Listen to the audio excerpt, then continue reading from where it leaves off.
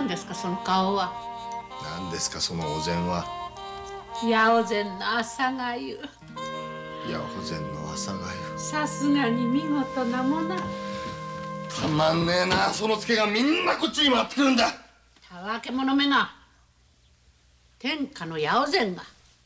本所一の貧乏御家人につけで朝がゆ届けると思いかおいしいじゃあ一つお伺いしても罰は当たりますまいな。一体誰がこんな馬鹿げた朝ごはんを？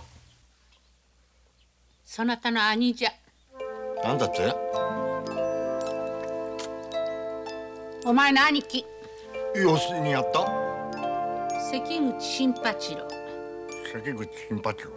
昨夜突然使いをよこし八百膳の切手を5枚。それも3両切って当分あそこの支払いには事欠かぬ。ちょっと待ってください。そのあ兄貴とかいう野郎は。当の年信州高遠藩の右筆関口家に養子に出したきり。母親の私ですらそれ以来顔を合わせたのはただの一度。